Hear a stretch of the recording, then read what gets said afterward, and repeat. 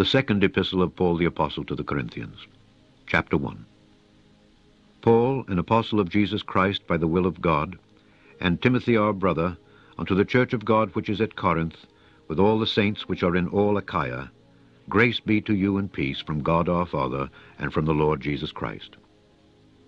Blessed be God, even the Father of our Lord Jesus Christ, the Father of mercies and the God of all comfort, who comforteth us in all our tribulation, that we may be able to comfort them which are in any trouble, by the comfort wherewith we ourselves are comforted of God. For as the sufferings of Christ abound in us, so our consolation also aboundeth by Christ. And whether we be afflicted, it is for your consolation and salvation, which is effectual in the enduring of the same sufferings which we also suffer. Or whether we be comforted, it is for your consolation and salvation. And our hope of you is steadfast, knowing that as ye are partakers of the sufferings, so shall ye be also of the consolation. For we would not, brethren, have you ignorant of our trouble which came to us in Asia, that we were pressed out of measure, above strength, insomuch that we despaired even of life. But we had the sentence of death in ourselves, that we should not trust in ourselves, but in God, which raiseth the dead, who delivered us from so great a death, and doth deliver, in whom we trust that he will yet deliver us. Ye also helping together by prayer for us, that for the gift bestowed upon us by the means of many persons, thanks may be given by many on our behalf. For our rejoicing is this, the testimony of our conscience, that in simplicity and godly sincerity, not with fleshly wisdom, but by the grace of God, we have had our conversation in the world and more abundantly to you ward. For we write none other things unto you than what ye read or acknowledge. And I trust ye shall acknowledge even to the end. As also ye have acknowledged us in part, that we are your rejoicing, even as ye also are ours in the day of the Lord Jesus. And in this confidence I was minded to come unto you before, that ye might have a second benefit, and to pass by you into Macedonia, and to come again out of Macedonia unto you, and of you to be brought on my way toward Judea. When I therefore was thus minded, did I use lightness? Or the things that I purpose, do I purpose according to the flesh, that with me there should be yea, yea, and nay, nay? But as God is true, our word toward you was not yea and nay. For the Son of God, Jesus Christ, who was preached among you by us, even by me and Silvanus and Timotheus, was not yea and nay, but in him was yea. For all the promises of God in him are yea, and in him amen, unto the glory of God by us. Now he which stablisheth us with you in Christ, and hath anointed us, is God, who hath also sealed us, and given the earnest of the Spirit in our hearts. Moreover, I call God for a record upon my soul, that to spare you I came not as yet unto Corinth. Not for that we have dominion over your faith, but are helpers of your joy. For by faith ye stand. Chapter 2 But I determined this with myself, that I would not come again to you in heaviness. For if I make you sorry, who is he then that maketh me glad but the same which is made sorry by me? And I wrote this same unto you, lest when I came I should have sorrow from them of whom I ought to rejoice, having confidence in you all that my joy is the joy of you all. For out of much affliction and anguish of heart I wrote unto you with many tears, not that ye should be grieved, but that ye might know the love which I have more abundantly unto you.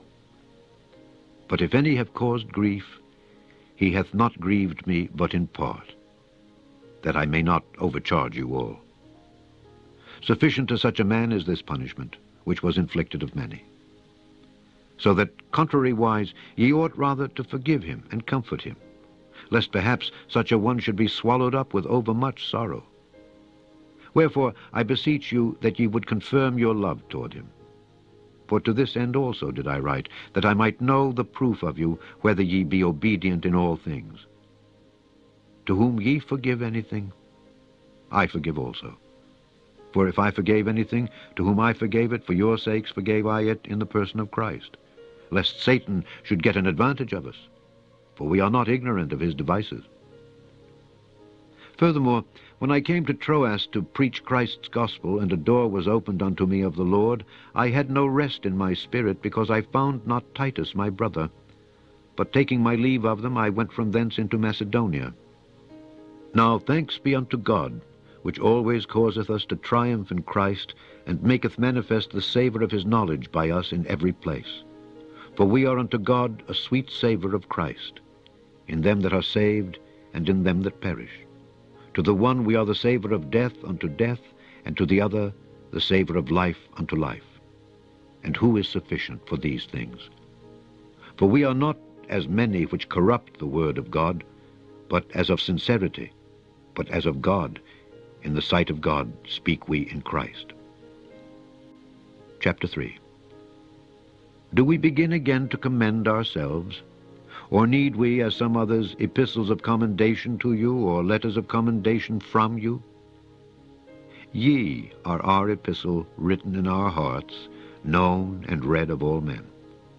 Forasmuch as ye are manifestly declared to be the epistle of Christ ministered by us, written not with ink, but with the Spirit of the living God, not in tables of stone, but in fleshy tables of the heart. And such trust have we through Christ to Godward. Not that we are sufficient of ourselves to think anything as of ourselves, but our sufficiency is of God, who also hath made us able ministers of the New Testament, not of the letter, but of the Spirit. For the letter killeth, but the Spirit giveth life. But if the ministration of death, written and engraven in stones, was glorious, so that the children of Israel could not steadfastly behold the face of Moses for the glory of his countenance, which glory was to be done away, how shall not the ministration of the Spirit be rather glorious? For if the ministration of condemnation be glory, much more doth the ministration of righteousness exceed in glory. For even that which was made glorious had no glory in this respect, by reason of the glory that excelleth. For if that which is done away was glorious, much more that which remaineth is glorious. Seeing then that we have such hope, we use great plainness of speech, and not as Moses, which put a veil over his face, that the children of Israel could not steadfastly look to the end of that which is abolished. But their minds were blinded, for until this day remaineth the same veil untaken away in the reading of the Old Testament, which veil is done away in Christ. But even unto this day, when Moses is read, the veil is upon their heart. Nevertheless, when it shall turn to the Lord, the veil shall be taken away. Now the Lord is that Spirit, and where the Spirit of the Lord is, there is liberty. But we all, with open face beholding as in a glass the glory of the Lord, are changed into the same image from glory to glory, even as by the Spirit of the Lord. Chapter 4 Therefore, seeing we have this ministry, as we have received mercy, we faint not, but have renounced the hidden things of dishonesty, not walking in craftiness, nor handling the word of God deceitfully, but by manifestation of the truth, commending ourselves to every man's conscience in the sight of God. But if our gospel be hid, it is hid to them that are lost in whom the God of this world hath blinded the minds of them which believe not, lest the light of the glorious gospel of Christ, who is the image of God, should shine unto them. For we preach not ourselves, but Christ Jesus the Lord, and ourselves your servants for Jesus' sake. For God, who commanded the light to shine out of darkness, hath shined in our hearts to give the light of the knowledge of the glory of God in the face of Jesus Christ. But we have this treasure in earthen vessels, that the excellency of the power may be of God and not of us. We are troubled on every side, yet not distressed. We are perplexed, but not in despair. Persecuted, but not forsaken. Cast down, but not destroyed. Always bearing about in the body the dying of the Lord Jesus, that the life also of Jesus might be made manifest in our body. For we which live are all way delivered unto death for Jesus' sake, that the life also of Jesus might be made manifest in our mortal flesh. So then, death worketh in us, but life in you. We, having the same spirit of faith, according as it is written, I believed, and therefore have I spoken, we also believe, and therefore speak, knowing that he which raised up the Lord Jesus shall raise up us also by Jesus, and shall present us with you. For all things are for your sakes, that the abundant grace might through the thanksgiving of many redound to the glory of God. For which cause we faint not, but though our outward man perish, yet the inward man is renewed day by day. For our light affliction, which is but for a moment, worketh for us a far more exceeding and eternal weight of glory. While we look not at the things which are seen, but at the things which are not seen. For the things which are seen are temporal, but the things which are not seen are eternal. Chapter 5 For we know that if our earthly house of this tabernacle were dissolved, we have a building of God, an house not made with hands, eternal in the heavens. For in this we groan, earnestly desiring to be clothed upon with our house which is from heaven. If so be that being clothed we shall not be found naked. For we that are in this tabernacle do groan, being burdened, not for that we would be unclothed, but clothed upon that mortality might be swallowed up of life. Now he that hath wrought us for the selfsame thing is God, who also hath given unto us the earnest of the Spirit. Therefore we are always confident, knowing that whilst we are at home in the body, we are absent from the Lord. For we walk by faith, not by sight. We are confident, I say, and willing rather to be absent from the body and to be present with the Lord. Wherefore we labor that whether present or absent we may be accepted of him. For we must all appear before the judgment seat of Christ, that every one may receive the things done in his body according to that he hath done, whether it be good or bad. Knowing therefore the terror of the Lord, we persuade men. But we are made manifest unto God, and I trust also are made manifest in your consciences. For we commend not ourselves again unto you, but give you occasion to glory on our behalf, that ye may have somewhat to answer them which glory in appearance, and not in heart. For whether we be beside ourselves, it is to God, or whether we be sober, it is for your cause. For the love of Christ constraineth us, because we thus judge, that if one died for all, then were all dead and that he died for all, that they which live should not henceforth live unto themselves, but unto him which died for them, and rose again. Wherefore, henceforth know we no man after the flesh. Yea, though we have known Christ after the flesh, yet now henceforth know we him no more. Therefore, if any man be in Christ, he is a new creature. Old things are passed away. Behold, all things are become new. And all things are of God, who hath reconciled us to himself by Jesus Christ, and hath given to us the ministry of reconciliation, to wit, that God was in Christ, reconciling the world unto himself, not imputing their trespasses unto them, and hath committed unto us the word of reconciliation. Now then, we are ambassadors for Christ, as though God did beseech you by us. We pray you in Christ's stead, be ye reconciled to God. For he hath made him to be sin for us who knew no sin, that we might be made the righteousness of God in him.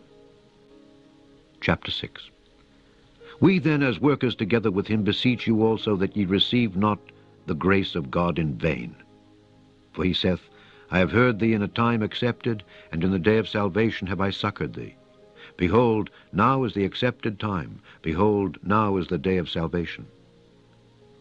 Giving no offense in anything, that the ministry be not blamed, but in all things approving ourselves as the ministers of God, in much patience, in afflictions, in necessities, in distresses, in stripes, in imprisonments, in tumults, in labors, in watchings, in fastings, by pureness, by knowledge, by long suffering, by kindness, by the Holy Ghost, by love unfeigned, by the word of truth, by the power of God, by the armor of righteousness on the right hand and on the left, by honor and dishonor, by evil report and good report, as deceivers and yet true, as unknown and yet well known, as dying and behold we live, as chastened and not killed, as sorrowful yet always rejoicing,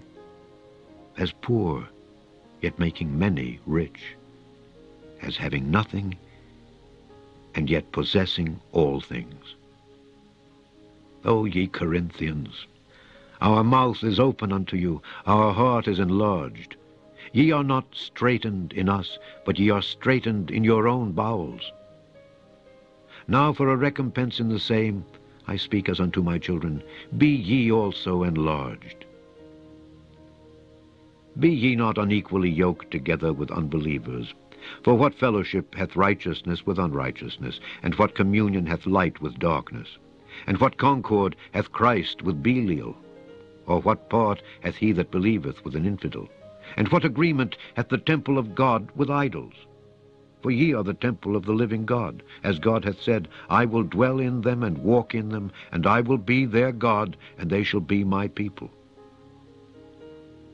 Wherefore come out from among them, and be ye separate, saith the Lord, and touch not the unclean thing, and I will receive you, and will be a father unto you, and ye shall be my sons and daughters, saith the Lord Almighty. Chapter 7 Having therefore these promises, dearly beloved, let us cleanse ourselves from all filthiness of the flesh and spirit, perfecting holiness in the fear of God. Receive us. We have wronged no man, we have corrupted no man, we have defrauded no man.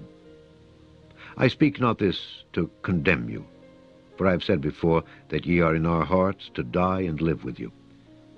Great is my boldness of speech toward you, great is my glorying of you. I am filled with comfort, I am exceeding joyful in all our tribulation.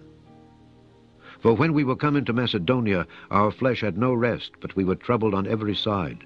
Without were fightings, within were fears.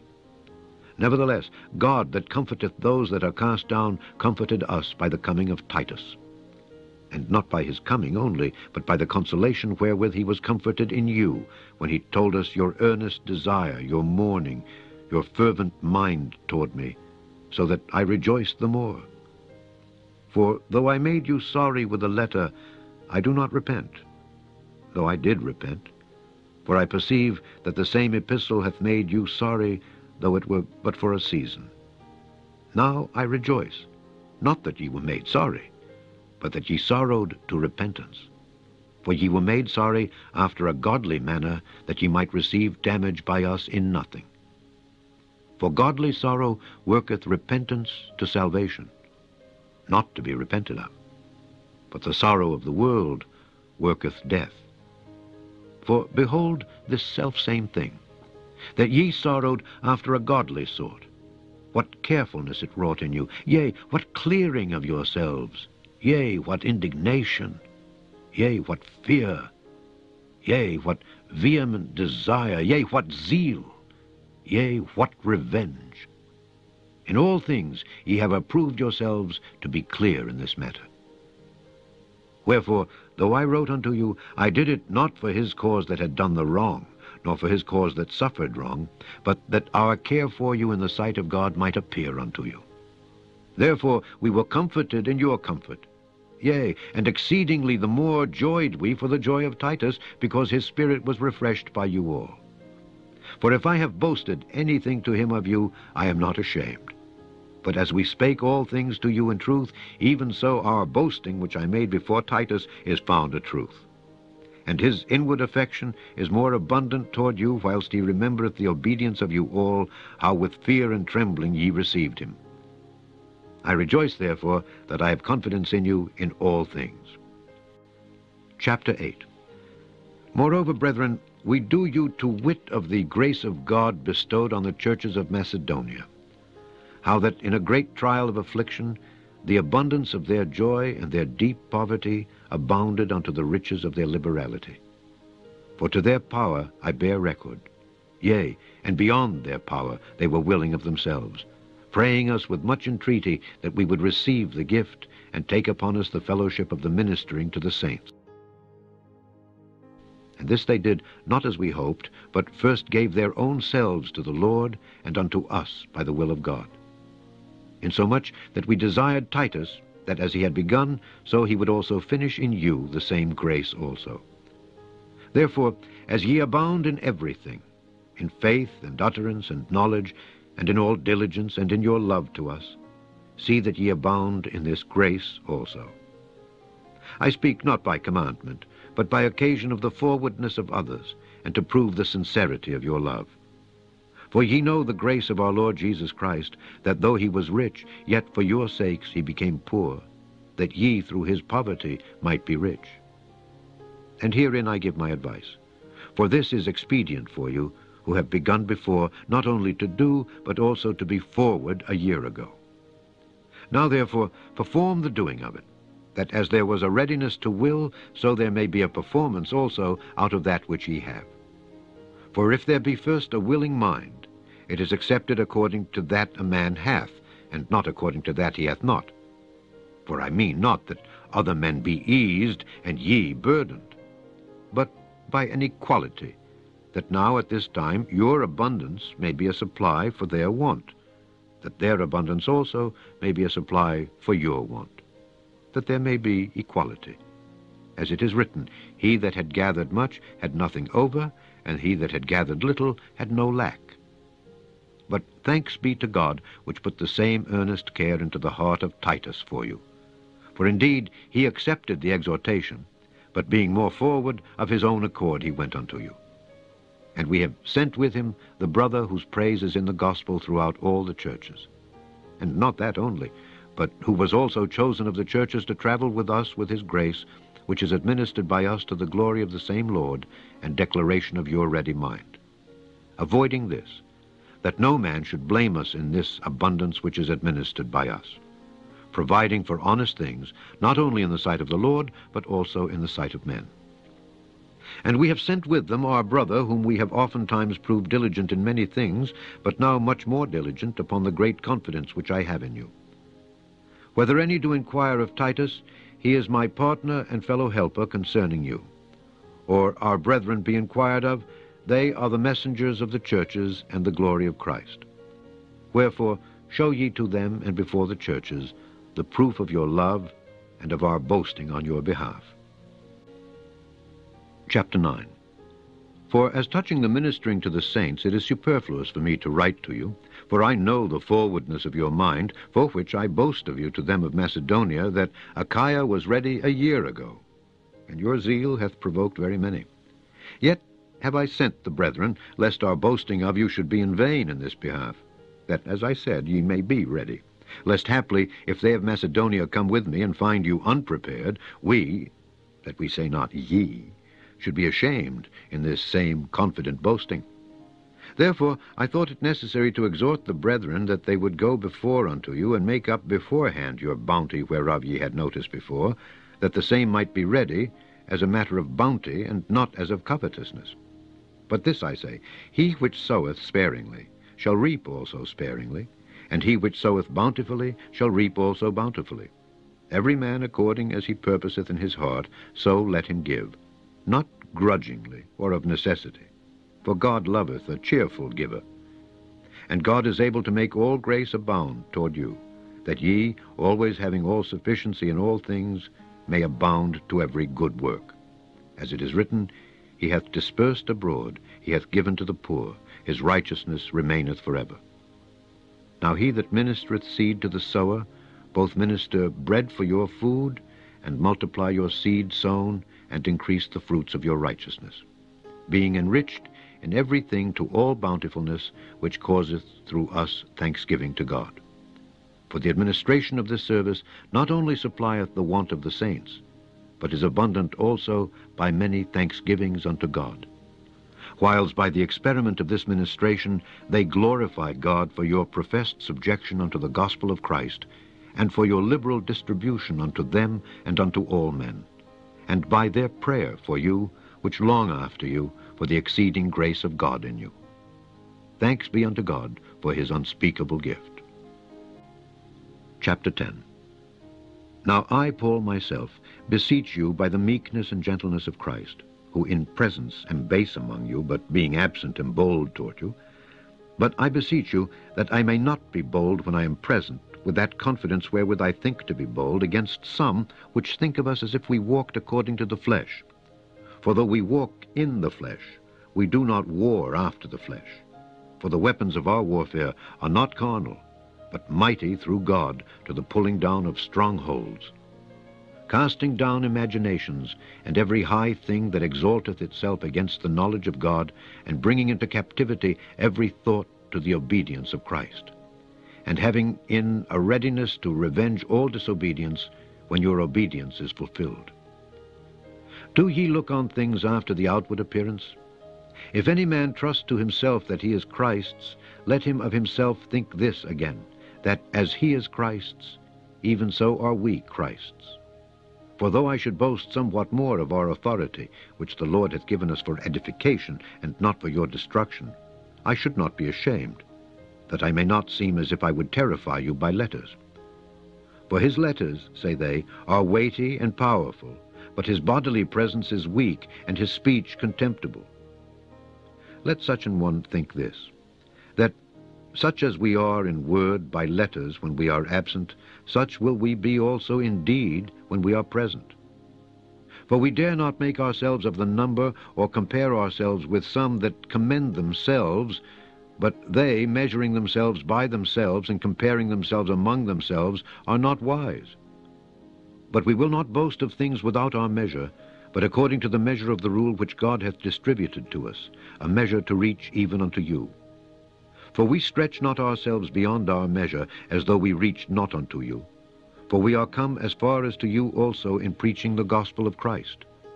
Not boasting of things without our measure, that is, of other men's labors, but having hope, when your faith is increased, that we shall be enlarged by you according to our rule abundantly. To preach the gospel in the regions beyond you, and not to boast in another man's line of things made ready to our hand. But he that glorieth, let him glory in the Lord. For not he that commendeth himself is approved, but whom the Lord commendeth. Chapter 11 Would to God ye could bear with me a little in my folly, and indeed, bear with me, for I am jealous over you with godly jealousy. For I have espoused you to one husband, that I may present you as a chaste virgin to Christ. But I fear lest by any means, as the serpent beguiled Eve through his subtlety, so your minds should be corrupted from the simplicity that is in Christ. For if he that cometh preacheth another Jesus, whom we have not preached, or if ye receive another spirit which ye have not received, or another gospel which ye have not accepted, ye might well bear with him. For I suppose I was not a whit behind the very chiefest apostles. But though I be rude in speech, yet not in knowledge, but we have been throughly made manifest among you in all things. Have I committed an offense in abasing myself, that ye might be exalted? because I have preached to you the gospel of God freely? I robbed other churches, taking wages of them to do you service. And when I was present with you and wanted, I was chargeable to no man. For that which was lacking to me, the brethren which came from Macedonia supplied. And in all things I have kept myself from being burdensome unto you, and so will I keep myself. As the truth of Christ is in me, no man shall stop me of this boasting in the regions of Achaia. Wherefore? Because I love you not? God knoweth. But what I do, that I will do, that I may cut off occasion from them which desire occasion, that wherein they glory they may be found even as we.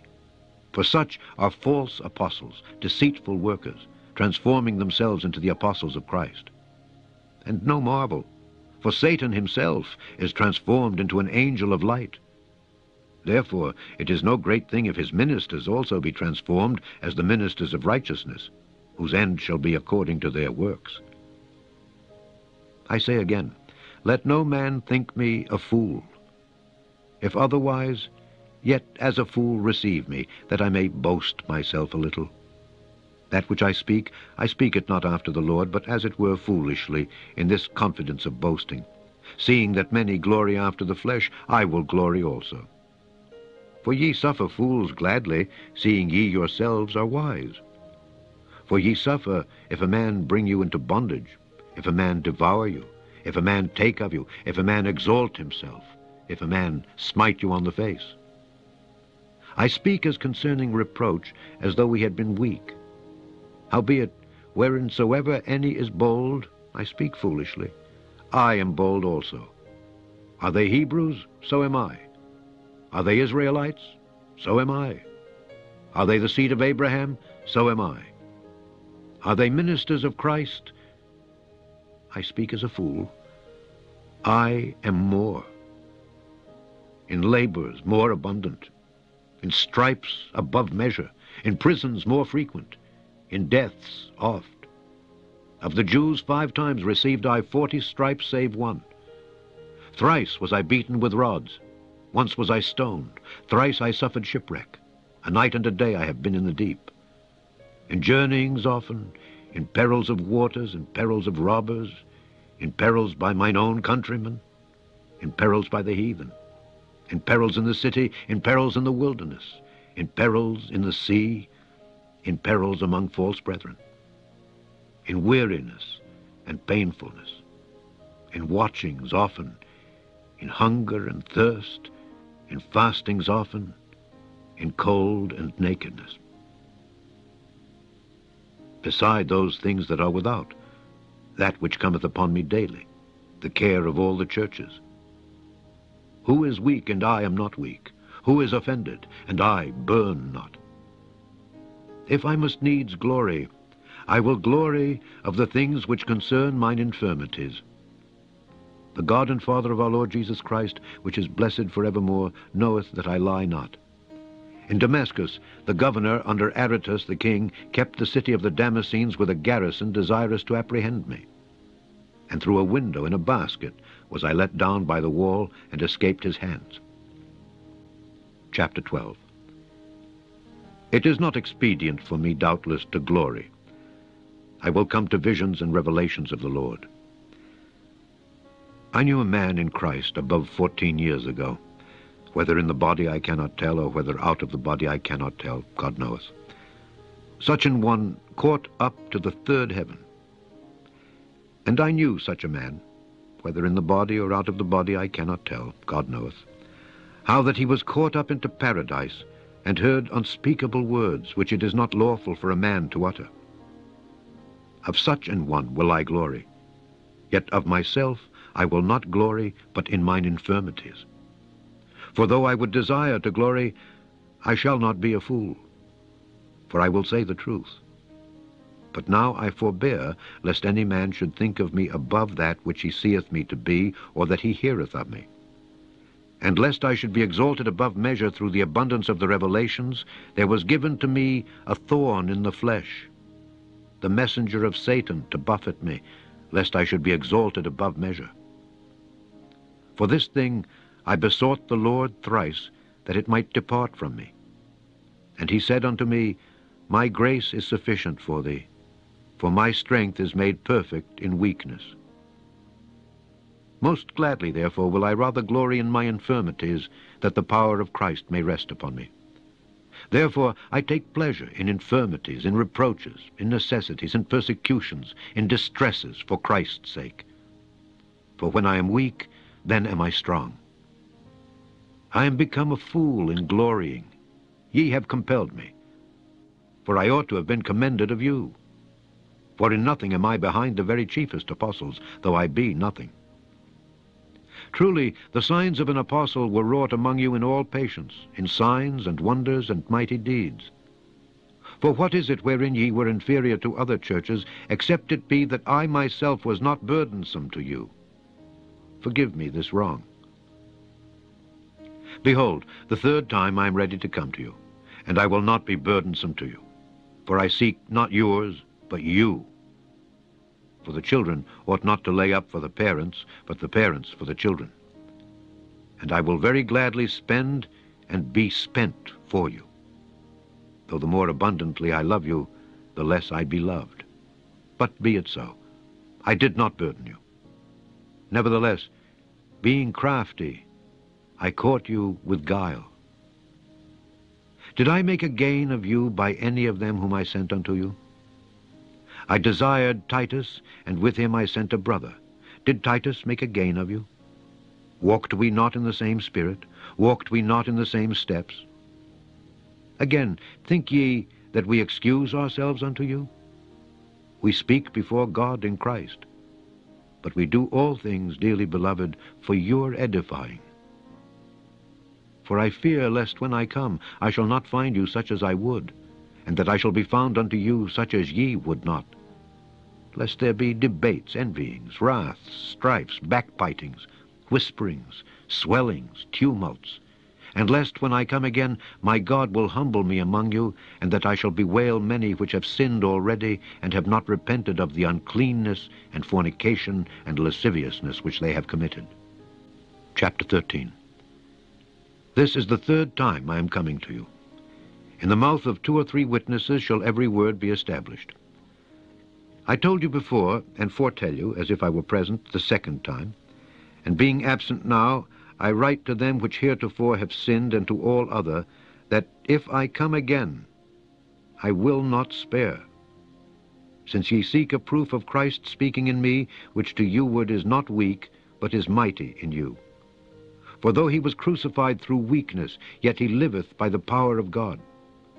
For we also are weak in him, but we shall live with him by the power of God toward you. Examine yourselves whether ye be in the faith. Prove your own selves.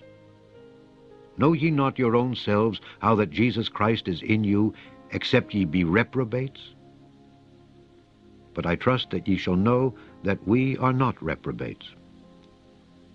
Now I pray to God that ye do no evil, not that we should appear approved, but that ye should do that which is honest, though we be as reprobates. For we can do nothing against the truth, but for the truth. For we are glad when we are weak and ye are strong. And this also we wish, even your perfection. Therefore I write these things being absent, lest being present I should use sharpness, according to the power which the Lord hath given me to edification, and not to destruction. Finally, brethren, farewell. Be perfect, be of good comfort, be of one mind, live in peace. And the God of love and peace shall be with you. Greet one another with an holy kiss. All the saints salute you. The grace of the Lord Jesus Christ, and the love of God, and the communion of the Holy Ghost be with you all. Amen. End of the second epistle of Paul the Apostle to the Corinthians.